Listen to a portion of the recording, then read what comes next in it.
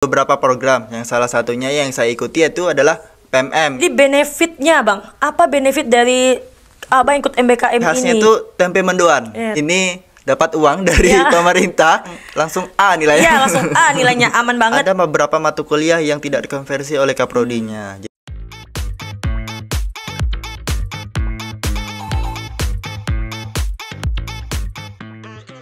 Assalamualaikum warahmatullahi wabarakatuh Halo semuanya, kembali lagi di podcast Bincang Kimia edisi kelima bersama saya Nadila Putri Ananta selaku Badan Pengurus Harian Himpunan Mahasiswa Kimia Fakultas Matematika dan Ilmu Pengetahuan Alam Universitas Tanjung Pura pada podcast kali ini kita akan membahas tentang keseruan dan benefit mengikuti pertukaran mahasiswa program MBKM atau Merdeka Belajar Kampus Merdeka.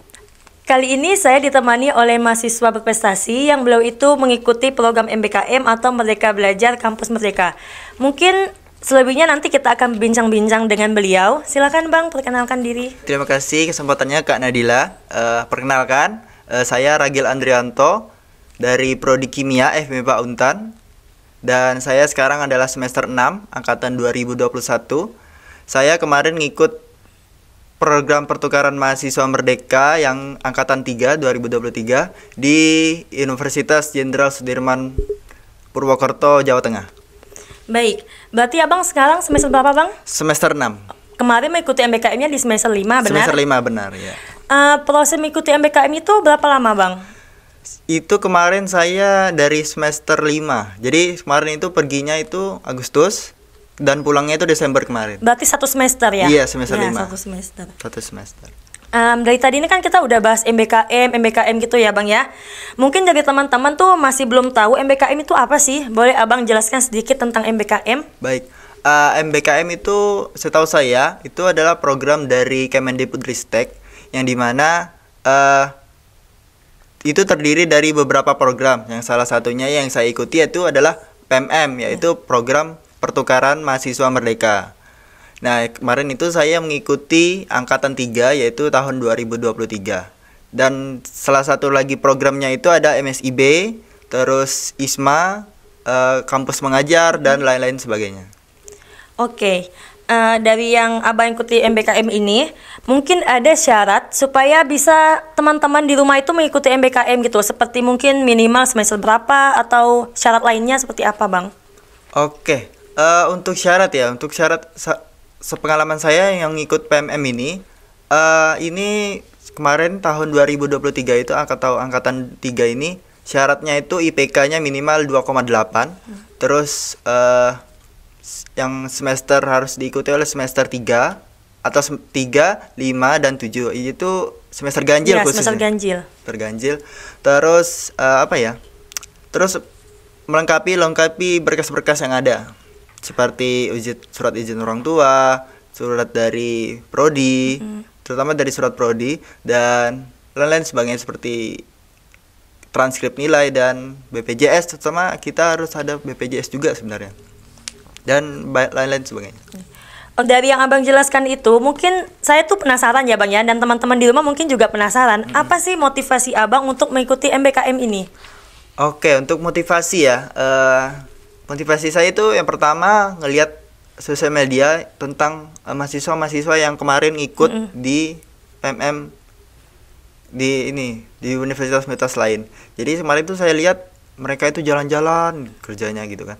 Tetapi setelah saya daftar dan lolos di program ini, ternyata bukan hanya jalan-jalan. Kita di sana itu belajar. Nah, salah satunya itu ada namanya itu kampus eh, bukan, sorry, eh, ini kelas modul Nusantara. Jadi kita itu eh, mengetahui atau memperkenalkan atau eh, belajar tentang daerah yang kita ikuti. Iya. Jadi saya khususnya di Unsud itu belajar tentang kebudayaan Purwokerto Iya. salah satunya itu. Berarti dari yang abang ceritakan itu kita belajar ya bang di sana ya. Iya. Belajar itu apakah kita hanya mempelajari teorinya saja atau bagaimana bang?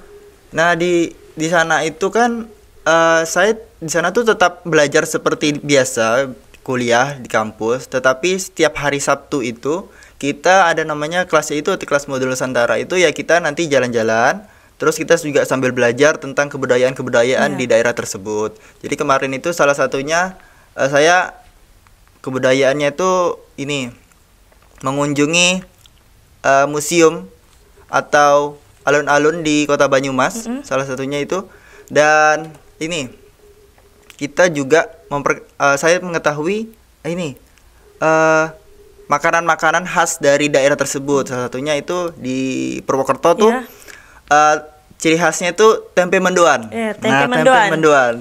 Jadi Enak di sana tuh banyak iya, sana tuh banyak tempe mendoan sekali di tepi-tepi jalan gitu kan. Banyak sekali orang-orang yang jual tempe mendoan. Hmm. Kemarin tuh ada salah satu tempat yang menjual tempe mendoan itu yang satu meter sebesar satu meter. Jadi kami di sana tuh makan rame-rame Ya. gitu. Kayaknya kalau di Pontianak tempe mendoan belum ada ya bang ya? Ada sih, tapi Ada. tapi tidak dijual Ya. banyak gitu kan. Jadi jarang juga ya di sini ya. Aslinya kan pasti di Purwokerto.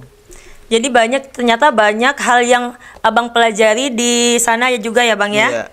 Dari yang abang ceritakan itu abang ikut ikut MBKM-nya di Unsot, sedangkan abang kan kuliahnya di Untan juga gitu kan. Berarti kan abang mengikuti uh, mengikuti dua kampus, benar ya bang ya? Ah, jadi itu gimana sistemnya bang? Apakah abang tuh di Untannya offline, terus di Unsotnya offline? Tuh gimana bang? Boleh ceritakan bang? Oke, untuk kuliah ya. Jadi di saya, saya tuh sebenarnya tidak kuliah di satu semester itu di Untan. Jadi saya full kuliah di, Di Unsud.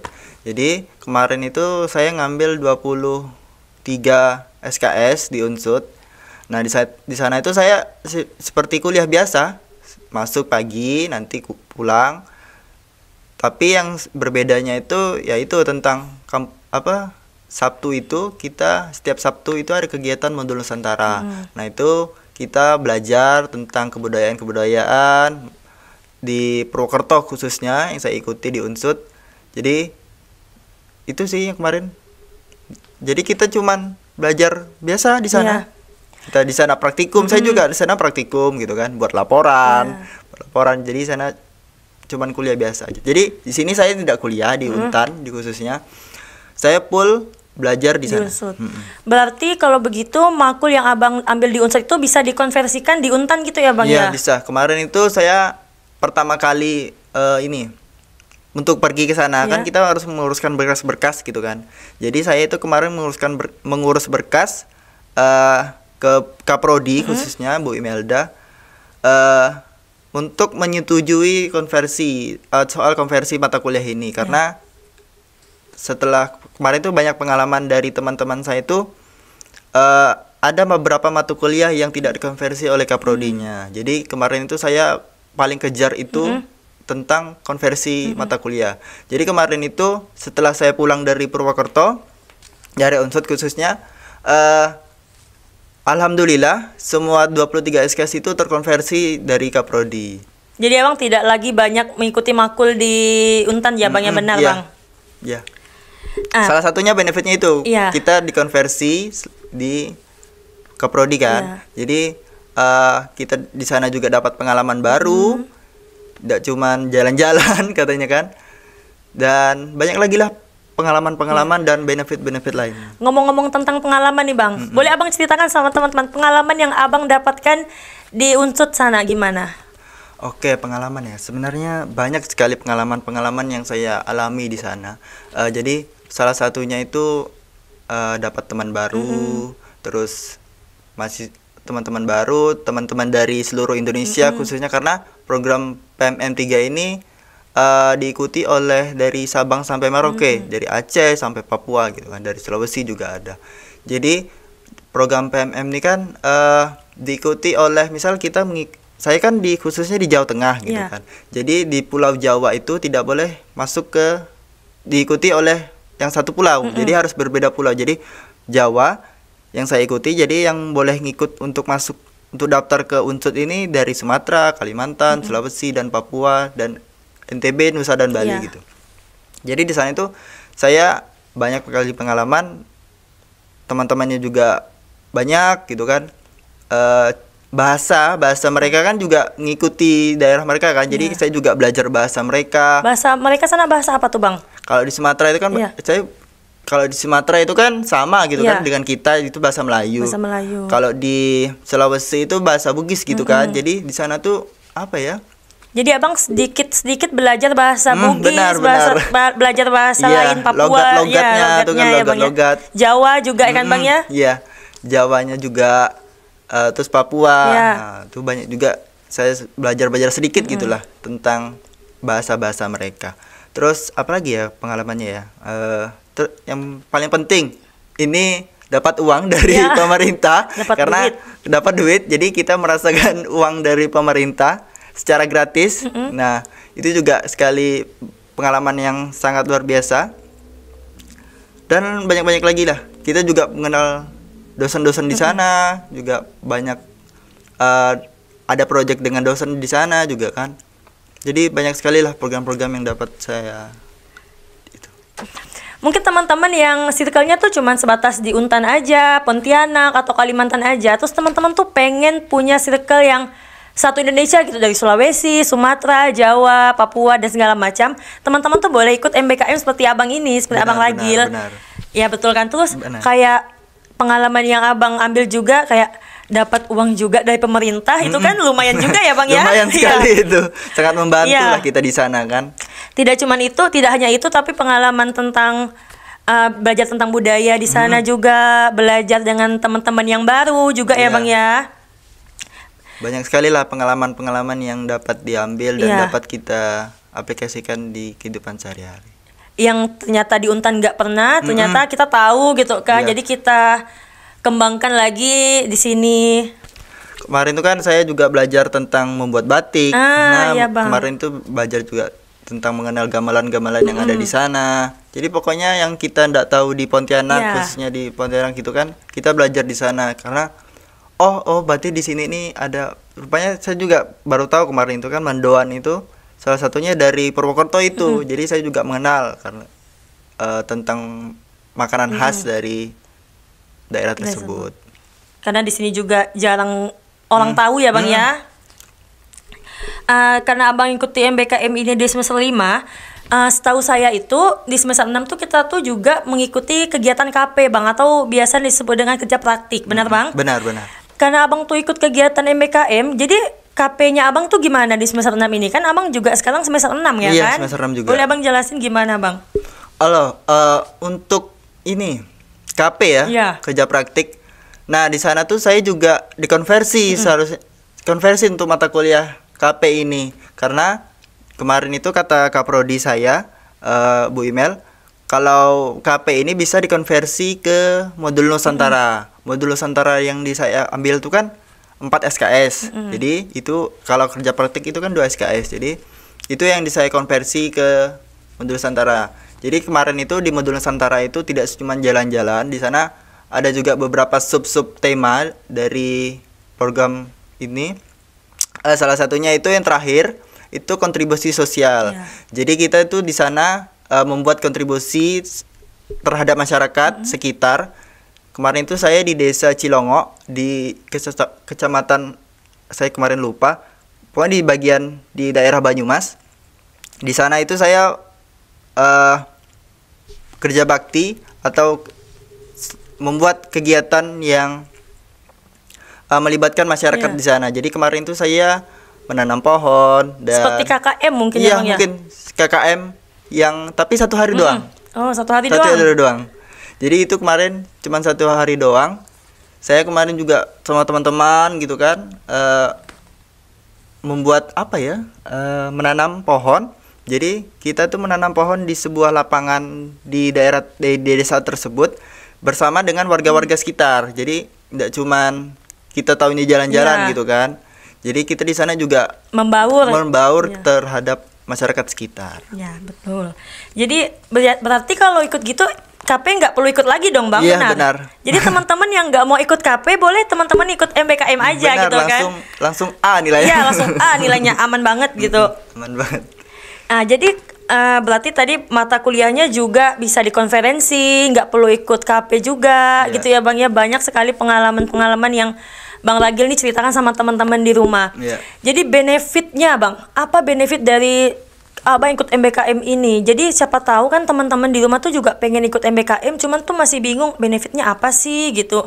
Apakah berpengaruh sama diri sendiri gitu? Boleh abang jelasin bang? Oke, untuk benefit, benefit tuh banyak sebenarnya yang saya eh, yang saya alami gitu kan. Eh, salah satunya itu eh, dapat teman baru, terus jal- dapat jalan-jalan juga di sana. Karena di sana itu kita semua tahu gitu loh kan di Jawa itu kan banyak de- destinasi wisata gitu kan. Jadi kita juga di sana mengenal destinasi wisata yang ada di sana.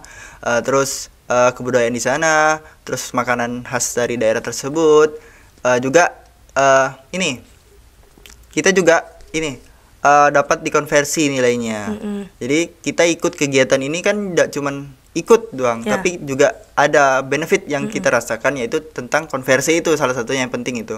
Karena kalau tidak dikonversi gitu kan kayak kita untuk apa sih ikut Ya, ini? sia-sia juga Sia-sia ya. juga gitu kan.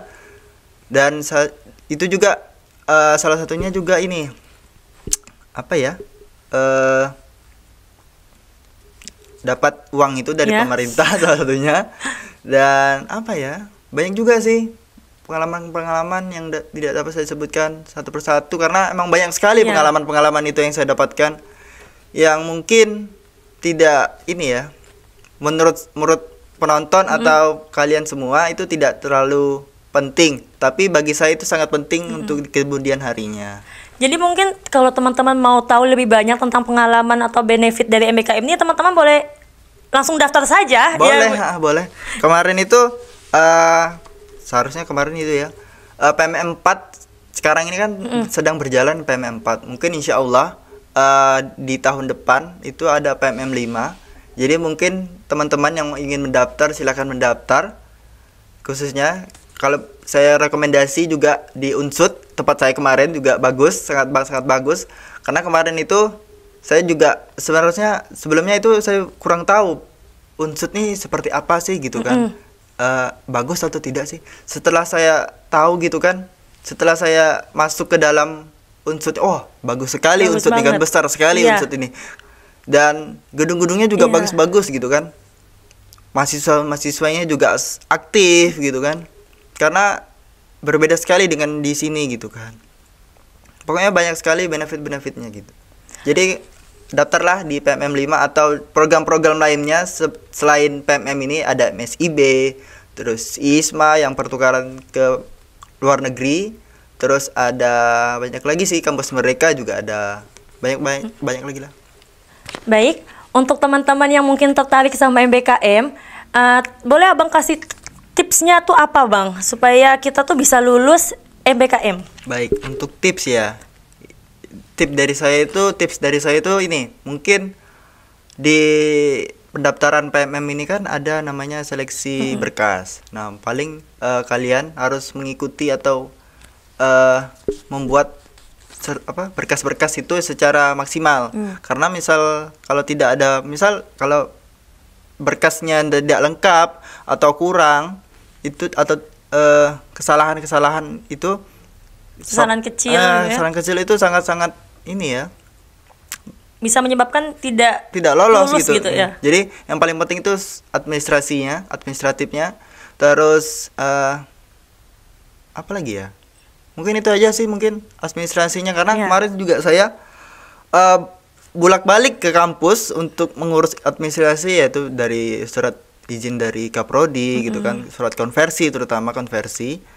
Paling harus sangat-sangat diperhatikan surat konversi ini kepada prodi karena kalau misalkan kita sudah pulang ke sini takutnya karena pengalaman-pengalaman teman saya itu ada yang mata kuliah tidak konversi. Jadi harus benar-benar eh, berbicara kepada kaprodinya untuk konversi nilai ini. Karena kalau tidak dikonversi itu kan sayang sekali gitu kan. Iya. Kan kita juga sudah di sana selama satu semester. Jadi nanti tahun depan itu kan kita mengulang atau Iya. mengambil mata kuliah tersebut kan. Jadi kayak sia-sia. Sia-sia. Jadi Berarti komunikasi ya bang yang Iya, pertama yang itu penting-penting itu komunikasi ke- kepada kaprodi. kampus, ke- Iya, kap- kaprodi juga gitu kan. Baik, sebelum kita menutup podcast pada hari ini, mungkin dari Bang Ragil selaku mahasiswa program MBKM boleh memberikan kalimat closing pada teman-teman di rumah. Oke, untuk kalimat closing ya, eh, gimana ya saya? Oke, untuk kalimat closing ya dari saya mungkin ini.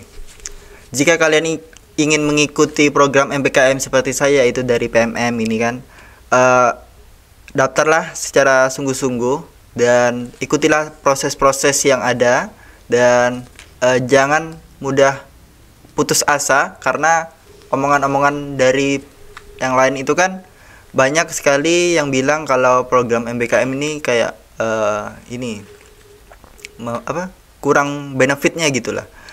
Tetapi kalau dari saya itu sangat-sangat banyak eh, kita dapat benefitnya karena eh, apa yang dikatakan orang itu kan tidak semuanya benar. Ya. Orang kan belum menjalankan eh, kegiatan itu. Jadi orang-orang itu nyaman sekali bilang kayak gitu karena dia belum mengikuti kegiatan itu. Tapi dari saya eh, ikutlah kegiatan ini karena kita ini kan di zamannya eh, program-program MBKM yang banyak sekali programnya. Jadi sayang sekali kalau tidak ikut untuk program MBKM ini.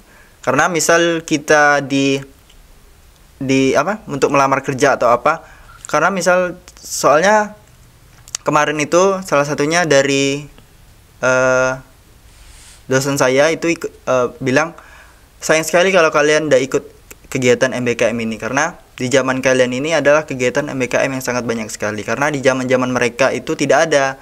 Jadi eh, kesempatan untuk keluar atau merasakan pengalaman baru di tempat lain itu sangatlah kecil. Jadi saya berharap kalian yang ingin ikut ya sungguh-sungguh lah untuk mengikuti prosesnya. Baik, terima kasih kepada Bang Ragil yang, selam- yang telah menemani saya dalam podcast Bincang Kimia edisi kelima ini. Tadi kita sudah mendengarkan dari Bang Ragil tentang keseruan dan benefit mengikuti pertukaran mahasiswa program MBKM atau Merdeka Belajar Kampus Merdeka. Baik, terima kasih kepada Bang Ragil yang sudah menemani, menemani saya dalam podcast Baik. Bincang Kimia edisi kelima kali ini. Iya, iya. Tadi kita juga sudah mendengarkan tentang keseruan dan benefit mengikuti pertukaran mahasiswa program MBKM atau Merdeka Belajar Kampus Merdeka. Di mana teman-teman nggak perlu lagi takut untuk mencoba MBKM karena dalam MBKM ini banyak sekali benefit, pengalaman dan cerita yang lainnya ya Bang banyak ya. sekali, banyak sekali. Baik, saya selaku moderator dalam podcast Bincang Kimia edisi 5 kali ini mohon undur diri dan sampai jumpa. Assalamualaikum warahmatullahi wabarakatuh. Sampai jumpa.